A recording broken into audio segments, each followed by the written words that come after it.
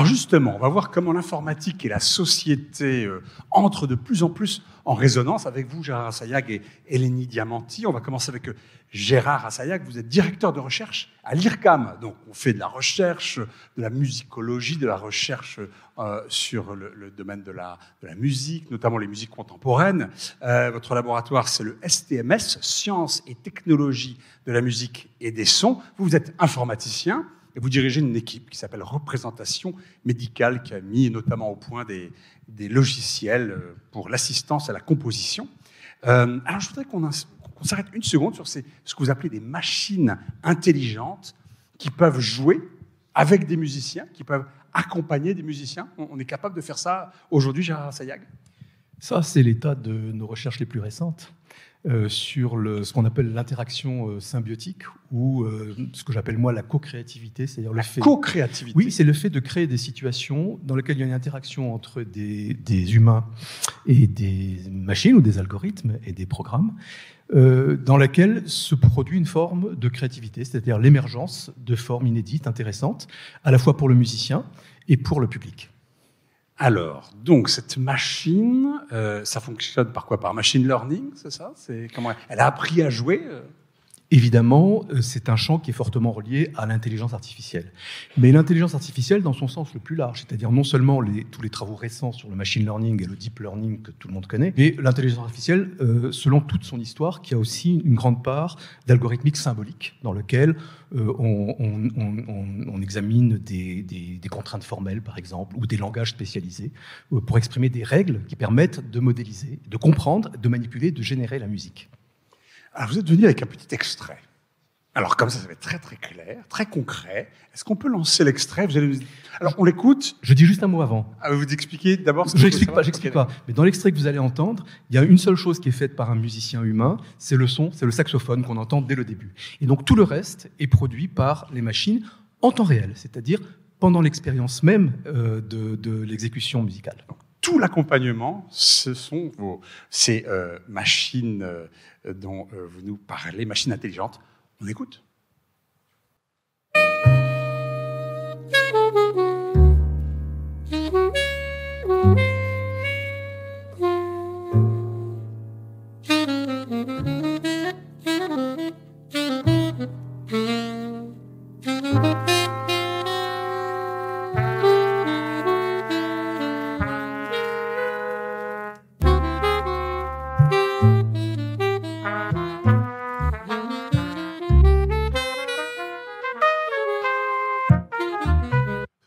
Ça aussi, je crois. C'est très très beau en plus, hein, bravo. Alors là,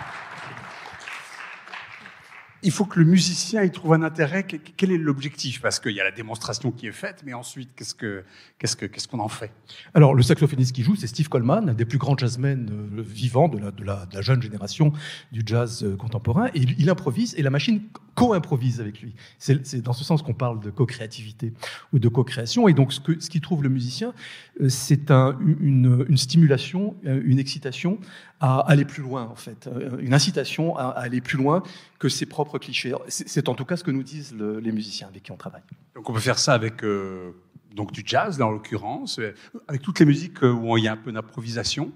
Alors, dans nos travaux récents, on s'est beaucoup spécialisé sur la question de l'improvisation. C'est d'ailleurs le thème d'un projet ERC euh, e que je dirige, qui s'appelle le projet REACH, euh, dans lequel on étudie euh, ces, ces, formes de co-créativité dans le cadre de l'improvisation, ce qui est une sorte de défi, puisque dans le cas de l'improvisation, par définition, on ne sait pas ce que va faire le musicien, et donc la machine doit élaborer des stratégies à la fois de compréhension de ce que fait le musicien, de mise en relation de ce que fait le musicien avec la connaissance musicale qu'elle a pu apprendre par machine learning, par exemple, et avec des stratégies qu'elle peut euh, élaborer pour montrer une sorte d'inventivité ou de ou de d'initiative. D'initiative, d'accord. Alors on va continuer avec vous, Eleni Diamanti. Vous êtes directrice de recherche CNRS au informaticienne, ingénieure hein, de, formation. Vous avez bifurqué vers la physique et vous êtes revenu vers l'informatique, et en l'occurrence maintenant l'informatique quantique. Donc euh, voilà, avec l'informatique euh, quantique, on code des bits sur le spin du photon, donc ce qu'on appelle des qubits, ce qui donne euh, naissance à une informatique plus puissante, plus rapide. On peut du coup aboutir à de nouvelles applications qu'on n'avait pas imaginées auparavant?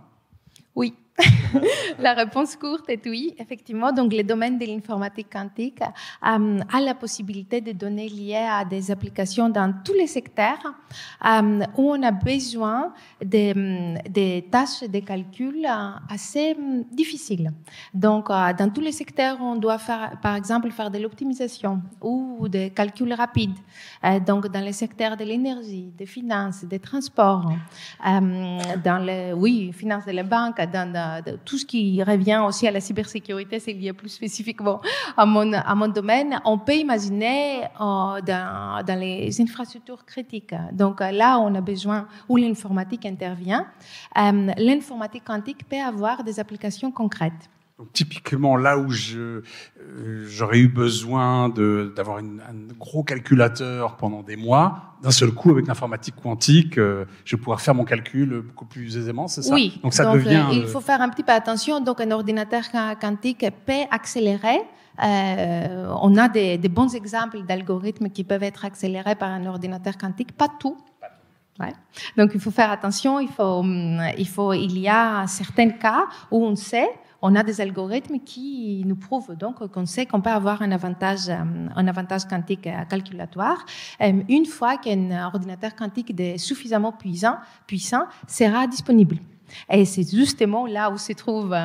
et, fiable aussi, parce que si je me trompe pas, le problème c'est qu'on a un petit peu des, des erreurs qui peuvent être introduites là, avec les ordinateurs quantiques d'aujourd'hui. Donc il faut avoir exactement des codes correcteurs d'erreurs, il faut corriger les, les, erreurs, il faut assurer la robustesse du calcul et aussi vérifier qu'il s'agit bien d'un calcul, d'un calcul quantique. Donc c'est l'interface entre euh, tous les domaines de la physique pour euh, développer le hardware euh, de l'ordinateur quantique et aussi de l'informatique bien sûr et des mathématiques pour développer les algorithmes Alors vous avez cité tous les domaines dans lesquels l'informatique quantique allait pouvoir jouer un rôle. Est-ce qu'il y a un exemple d'application euh, concrète que vous imaginez euh, qui serait euh, tout à fait intéressante, nouvelle, euh, il y a plusieurs exemples, donc c'est un peu difficile parce que comme on n'a pas encore, euh, comme on n'a pas encore un, ordinateur quantique suffisamment puissant, comme on a dit, de faire ça, on peut citer vraiment dans, tous les domaines. Hein. On parle beaucoup, euh, par exemple, dans les domaines des nouveaux matériaux,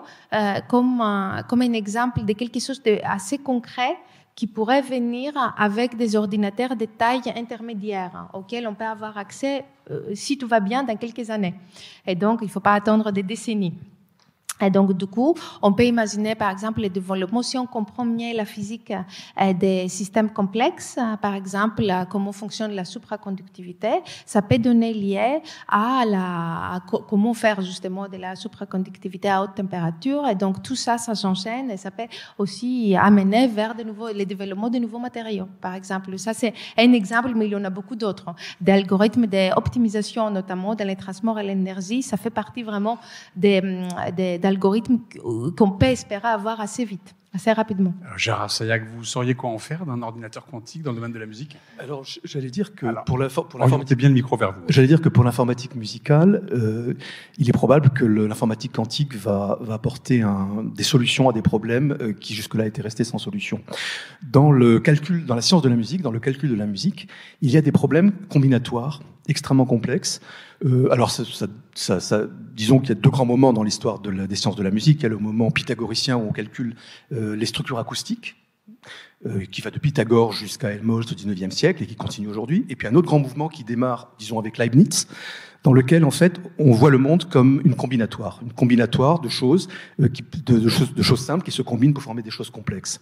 Et la musique n'échappe pas à cette euh, représentation, et euh, le calcul de la musique revient effectivement à essayer de calculer de grandes structures combinatoires à partir desquelles on va trouver des solutions à des problèmes musicaux. Et on explore des, espaces combinatoires qui sont gigantesques et qu'on ne peut pas en vérité explorer totalement. Et donc, il y a ce qu'on appelle des heuristiques qui permettent d'explorer certaines zones de ces espaces en espérant trouver les bonnes solutions dans ces zones. Mais en fait, on n'en est pas sûr. Et donc, à ce jour, il n'y a pas de solution avec l'informatique traditionnelle. Et seule l'informatique quantique, en fait, pourrait véritablement solutionner ce problème-là. Donc, même dans l'informatique musicale. Super, on va travailler ensemble. Ah ben voilà, voilà c'est à ça que ça sert aussi.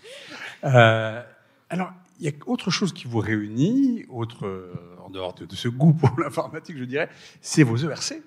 parce que vous avez eu l'un et l'autre un ERC. Vous, Gérard Assayag, euh, euh, votre ERC s'appelle RICH, c'est un ERC Advanced, donc pour des chercheurs seniors. 2,5 millions d'euros, hein, je, je, passe comme ça. Belle reconnaissance, évidemment. Et puis, euh, vous, Eleni Diamanti, un starting grant. Euh, ça vous a permis de monter une équipe. Euh, vous avez équipé votre laboratoire, un, un, laser, un détecteur de photons cryogéniques. Oui. Ouais. donc, l'objectif de, de, de cet ERC qui s'appelle Cusco, donc comment c'est démontrer vraiment un avantage quantique avec des systèmes photoniques. Donc, j'utilise les photons dans, dans ma recherche, euh, des systèmes photoniques accessibles, donc disponibles dans les courts termes, et un vrai avantage quantique calculatoire pour certaines tâches que j'espère qu'ils pourront être utiles. Ça va pas être la même chose que d'avoir un ordinateur quantique, comme on l'a décrit tout à l'heure, avec correction d'erreurs et robuste et tout ça, mais ça peut être optimisé pour certaines tâches spécifiques. Vous, euh, ce que vous étudiez, c'est la communication quantique. Hein. Oui, ça c'est, j'utilise les moyens de communication quantique. Dans ces, dans ces projets-là, ça va plus vers les calculs, justement, vers un, plutôt que la communication, mais j'utilise les moyens, les outils, les ressources de la communication Donc, quantique. comment transporter mes qubits sur des, voilà, des sur distances des longues distances. importantes Ouais. au moyen de laser? Euh, Et vous-même, Gérard euh, Assayac, voilà, belle, belle reconnaissance aussi. Ça vous a permis quoi, euh, ce, cet ERC Bah, effectivement, c'est une reconnaissance pour des travaux qu'on mène depuis pas mal d'années euh, dans, mon équipe euh, euh, et par lesquels on a créé un certain nombre d'outils qui sont effectivement utilisés par des musiciens aujourd'hui, y compris sur des, des, grandes scènes. Et ça va permettre simplement de continuer ce projet. Euh, pendant pendant cinq ans et de le et de le porter euh, euh, au-delà de ses limites actuelles.